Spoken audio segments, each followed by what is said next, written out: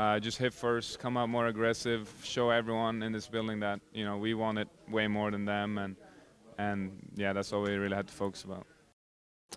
Uh, no, at this point it doesn't matter. You, if you win, you advance. That's it. Doesn't matter if it's one point, 20 points. If you win, you're on to the next, and uh, you're playing someone else that won. So it doesn't matter at this point. You just got to get the win. I mean, he's been great. We've been on him to shoot the ball, and he finally shot the ball, and also that created so much other opportunities for him. So I mean, he got downhill, found passes. So I mean, he just played great.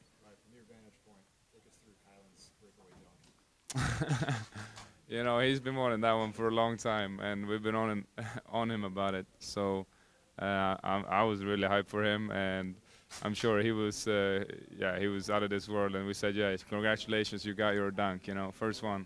So. Has he really, he's really been wanting that thing? I mean, yeah, that's. I think that's the only missing from his highlight reel. So he really wanted it, yeah.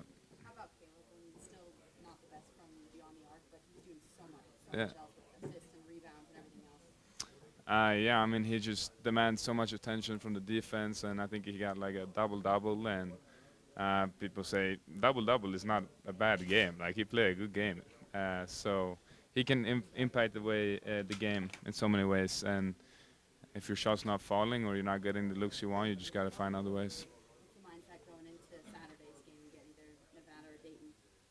Uh, just get rest. Uh, not much we can do about uh, who we're playing uh, right now. So just go back to the hotel, get some rest, and start game planning for them. And uh, you know, full focus on on on the next game.